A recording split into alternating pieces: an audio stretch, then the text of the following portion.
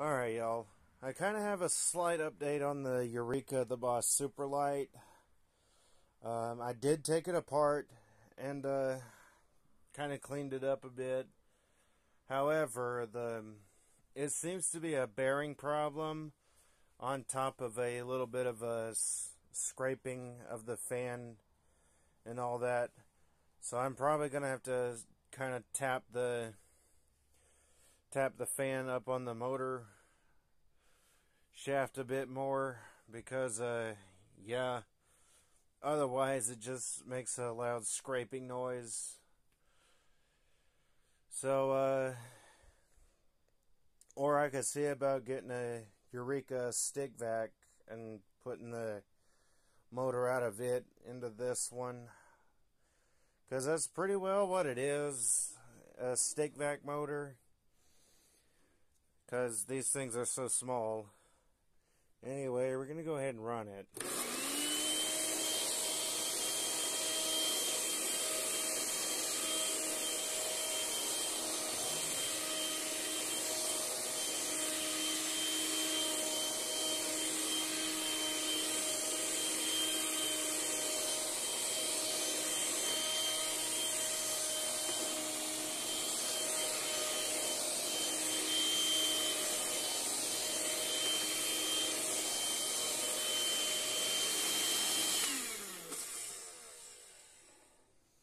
Yeah, it's not the smoothest sounding one I've had. I mean, the other one I had, the other yellow one that's just like it.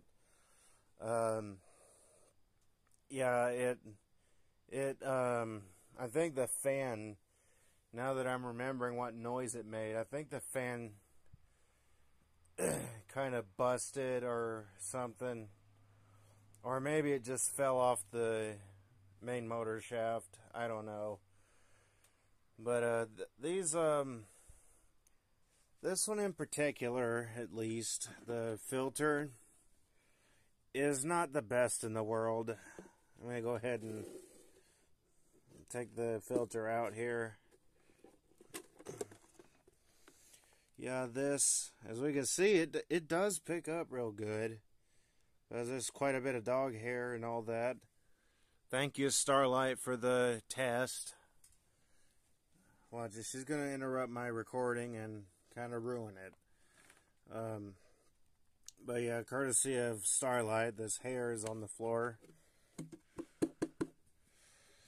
Yeah, it's a bit crusty in here too because I couldn't get it. I couldn't get down in there very good with my brush because this is such a narrow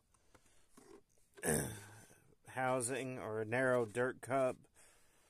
Um, I'll probably have to clean that off with the shark.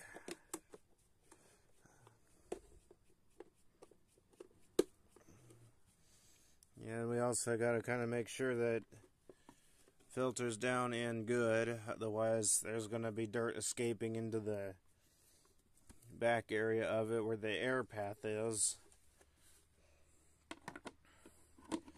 So, uh, yeah, I'll see what I can do to get this thing back up into great working order, but I don't think I'm going to use it too much because the filters are not the best.